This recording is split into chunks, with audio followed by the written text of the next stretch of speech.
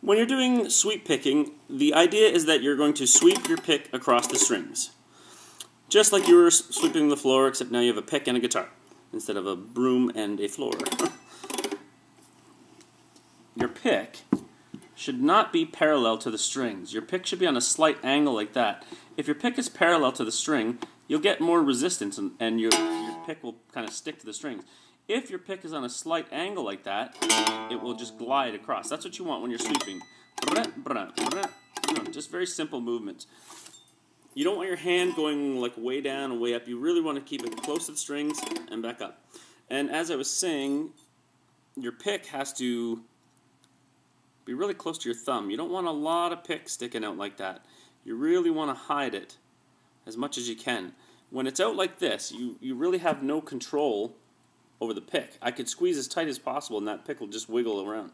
If I grip it close to the tip, I can't move that pick at all. Now I'm in control of it. So, less pick showing, slight angle to the strings so that it glides like that. Step number two is that you need to know what the chord progression is. So let's just say you're doing something like an, an A, an E, and back to A a lot of sweeps and arpeggios you hear in a lot of like metal and stuff, and it's always dark. So let's just do some major chord uh, sweeping here. So we have an A, an E chord, back to an A. You take the chord shape, you mute the strings where the bridge and the saddles meet, a lot like um, raking as well. You're just kind of muting off. You're going to pick in a downward motion. In this case, you can do up if you want. You don't have to sweep in a particular direction. It's up to you. You can go down in one chord and then up in the other chord. And you're not going to pick each note one at a time. You're going to play them all at once. And then come down in the other.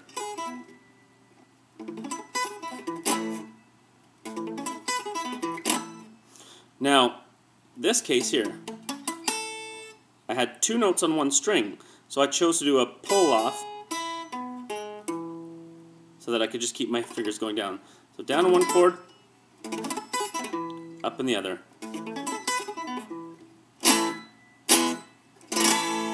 There's a basic sweeping for you.